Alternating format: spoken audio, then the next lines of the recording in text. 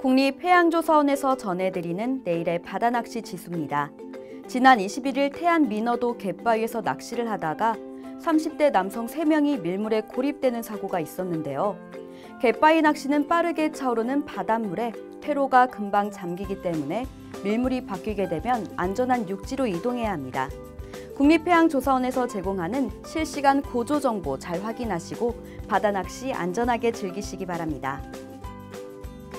전반적인 바다 낚시 지수 보시면 동해는 매우 나쁨 보이고 나머지 해역은 보통에서 나쁨으로 출조하기엔 바다 상황이 아주 좋지는 않습니다.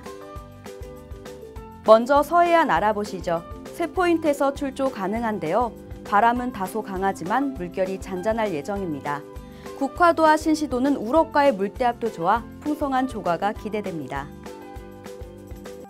남해안도 날씨가 좋은 건 아니지만 연도와 신지도는 금요일에 이어 주말도 낚시 가능합니다. 다만 연도는 대상어종이 활발하게 움직이기엔 물의 온도가 높은데요. 요즘 연도는 쭈갑 시즌을 맞아 주꾸미가 호조왕이라고 합니다. 고폐질 신중히 하셔서 마리수 조가 올려보시죠. 요즘 동해안의 바다 상황은 좋지 않은데요. 토요일도 풍랑주의보의 영향으로 출조는 어려워 보입니다. 파고도 높고 바람도 몹시 강하게 불겠으니 해왕 좋은 날을 기다리며 낚시 공부로 시간을 보내시는 건 어떨까요? 마지막으로 제주도입니다.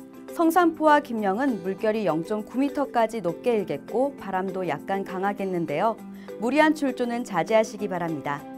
지금까지 내일의 바다낚시 지수였습니다.